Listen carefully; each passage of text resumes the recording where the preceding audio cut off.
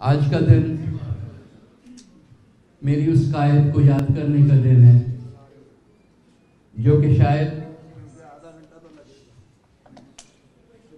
मेरे वालदेन तो मेरे माँ बाप जिन्होंने मुझे जन्म दिया, वो है। लेकिन मैंने सियासत में जो कुछ भी सीखा, वो इस अजीम कायद की साय में सीखा। मेरी सियासत की शुरुआत भी उनके साथ हुई। जब 1985 में मैं भी आपकी तरह बैरूनी मुल्क, यूएसए में, बल्कि कैलिफ़ोर्निया में मुकीम था और काम कर रहा था और मुझे वापस बुलाया गया। और 88 में पहली दफ़ा 88 में पहले मुझे ये शब्द ज़रूर हासिल है कि शहीद रानी के साथ पहले सेवेंटी क्लिफ्टन में अभी उनकी शादी भी नहीं हुई थी। उनकी पर्सनल टीम पे काम करने का शर्फ हासिल हुआ। और फिर शादी के फ़ौरन बाद उन्होंने मुझे टिकट दे के एम मिनिस्टर और उसके बाद एमएनए बनाया। और आज दिन तक उनके नाम पे ये एजाज़ हासिल है। इस हद तक कि आज मैं और मेरे दूसरे साथी सैद खुर्शीद अहमद शाह, हम दो पाकिस्तान के senior most M N As हैं आज। बगैर किसी ब्रेक के आठवीं दफ़ा। आठवीं दफ़ा हमें ये मौका मिल रहा है पाकिस्तान की खिदमत करने का। ये सब जादू क्या है? ये वो सिलसिला है जो कि शुरू होता है शहीद जुल्फ़कार अली भुट्टो से, जो सही माना में विजनरी थे। सही माना में उनको पाकिस्तान 1970 और 77 का नहीं, बल, बल्कि 2050 का पाकिस्तान वो नज़र आता था। और उनकी जो प्लानिंग होती थी, जो पाकिस्तान को आइन दिया, जो पाकिस्तान का न्यूक्लियर पावर बनाया, जो पाकिस्तान को उस पोजीशन पे रखा कि वो दुनिया के किसी भी मुल्क के साथ आँखों में आँखें डाल के बात कर सकता है तो वो नहीं किया। उसकी उसकी सजा उनको मिली। उसकी सजा उनको ये मिली कि उनको फांसी देकर हमसे दूर कर कर दिया गया। लेकिन जो फलसफा उन्होंने शुरू किया, वो कभी ख़त्म होने वाला नहीं था। वो एक तरफ़ भुटोइज्म का नारा दे के और पाकिस्तान में एक इगैलिटेरियन सोसाइटी के लिए एक गरीब के सोच रखने वाली सोसाइटी के सोच देके और फिर वो झंडा अपनी प्यारी बेटी मोहतरमा बेनजीर भुट्टो साहिबा के हाथ में दे के खुद हमसे चले और बेटी भी क्या निकली कि जिस एक दिन भी वो झंडा उसने नीचे गिरने नहीं दिया।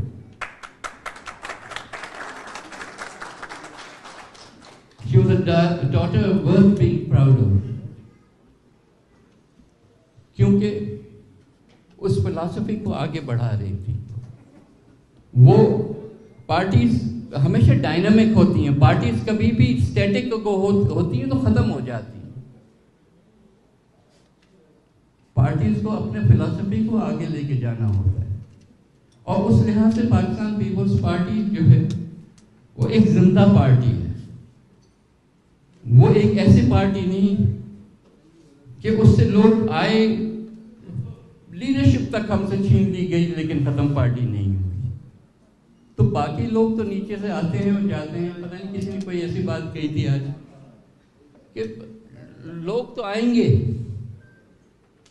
और लोग जाएँगे अभी यही डायनेमिज्म होता है पोलिटिकल पार्टीज़ का।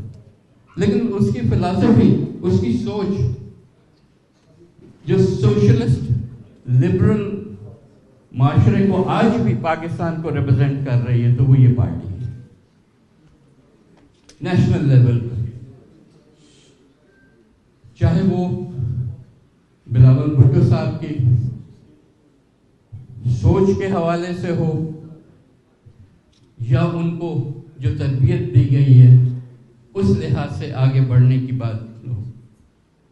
मैं सही आपको बताऊँ कि मोहतरमा शहीद के साथ कई दहाइयाँ मुझे मुझे गुजारने का मौका मिला। उनके क्या, कैबिनेट्स में दो दफ़ा, उनकी कैबिनेट में, उसके बाद एक दफ़ा जो है, यूसुफ रजा गिलानी साहब और राजा परवेज अशरफ साहब, जो आसिफ अली जरदारी साहब की सदारत में प्राइम मिनिस्टर से मौका मिला। लेकिन जो सबक उन्होंने सिखाया था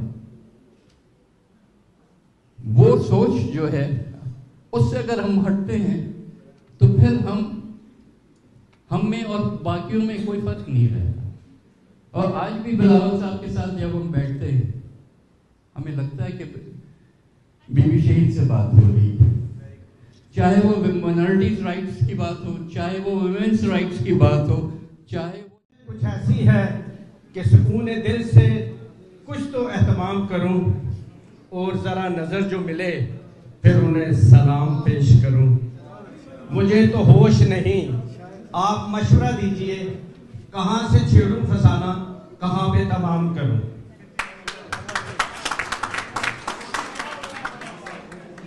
मैंने जैसे कहा कि मैं तकरीर करना है बिल्कुल नहीं करूँ, एक सवाल है सिर्फ़, बल्कि सवाल नहीं, हमें एक ताना दिया जाता है कुछ नाम नहार दानश्वरों की जानब से।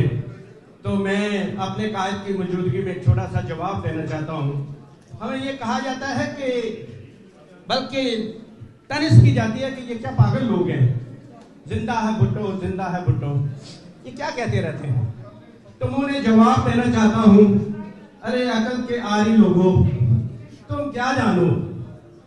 मरने के बाद ज़िंदा रहने के लिए दूसरों के लिए जान देनी पड़ती दूसरों के लिए अपनी जान की कुर्बानी देनी पड़ती है। तुम क्या जानो ये बात?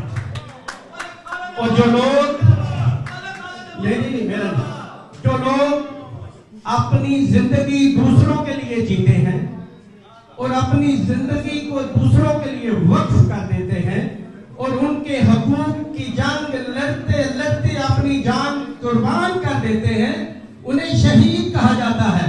वो मैंने नहीं कहा। मेरे दीन ने कहा, मेरे अल्लाह ने कहा, तुम कौन होते हो मुझे रोकने वाले? वो तो मेरा दीन कहता है कि शहीद ज़िंदा है और हम कहते रहेंगे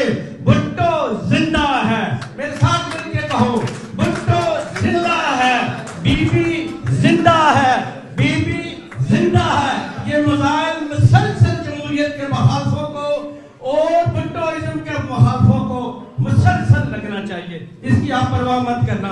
और फिर यहाँ मैं ये भी उन्हें बता दूँ, अजीम इंसान रोज रोज पैदा नहीं होते। अजीम इंसान रोज रोज पैदा नहीं होते, बल्कि ज़िंदगी को सुबह शाम दीरो हरम का तवाफ करना पड़ता है। तब जाके कहीं एक ऐसा इंसान मर से वजूद में आता है, जो न सिर्फ़ अजमत के मैार पे पूरा उतरता है, बल्कि उसे देखकर अजमत का मैार कायम किया जाता है। फानूस बनकर जिसकी हफाजत हवा करे। फानूस बनकर जिसकी हफाजत हवा करे। वो शमा क्या बुझे जिसकी हफाजत खुदा से मैंने वादा किया था कि मैं तकरीर नहीं करूँगा, कुछ जरा भूल गया। मैं अपने मैं अपने कायद से ये ज़रूर कहना चाहूँगा कि सच्ची बात है कि आपने मुझे मुबारकबाद तो दी।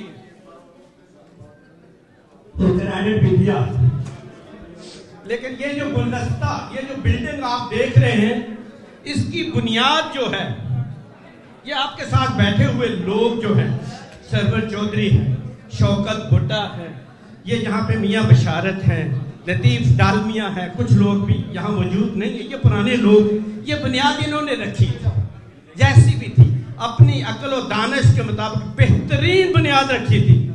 और अगर ये बुनियाद ना होती तो मैं कभी बिल्डिंग नहीं बना सकता था। और आज भी ये अगर मेरे साथ ना होते, ये अगर मेरा साथ ना देते, ये अगर मुझ पे बिलीव ना करते तो ये इतनी खूबसूरत बिल्डिंग ना बनती। मैं इसलिए इन सबको, इस सारी खूबसूरत बिल्डिंग का, इस मज़बूत, तरीन ऑर्गेनाइजेशन का क्रेडिट देना चाहता हूँ। ये मेरा हर किस क्रेडिट नहीं है। सच्ची बात मैं दिल से हमेशा कहता हूँ, ये सब इस क्रेडिट के हकदार हैं। दिन रात मेहनत करते हैं, काम करते हैं, बेलौस काम करते हैं। और इनका विजन और इनका इनका जो जो इनका भुट्टोइज्म पे इतमाद है, वो बड़ा क्लियर है। इसलिए इंशाल्लाह आप इतमान रखें, ये रिज़ल्ट सिर्फ़ 10 महीने का है।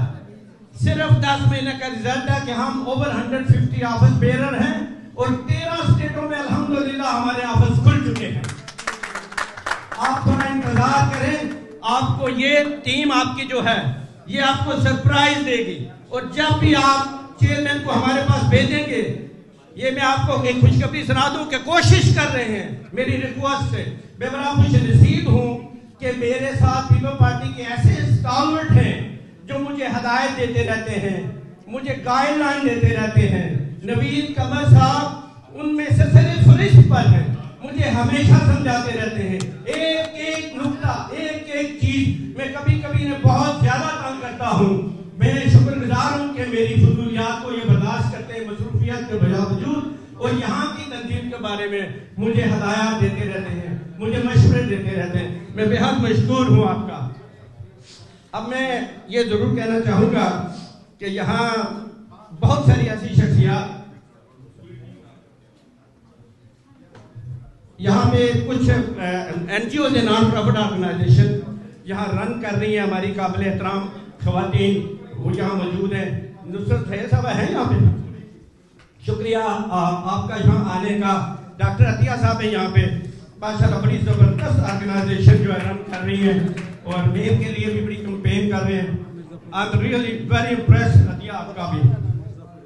और बाजी आपदा है यहाँ पे। ये तो हमारी अपनी है इसलिए इनका क्या शुक्रिया अदा करना।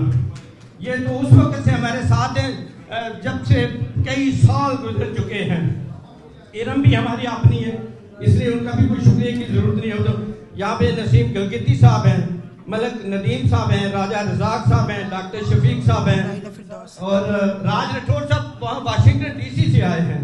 बाबर सैद कुरैशी मेरे बहुत ही प्यारे दोस्त मेरा बड़ा दिल करता था कि मैं मैं उनकी तकरीर सुनूं। खालिद नहीं है साहब। मुझे मुझे मुझे जो मुझे मौका दिया गया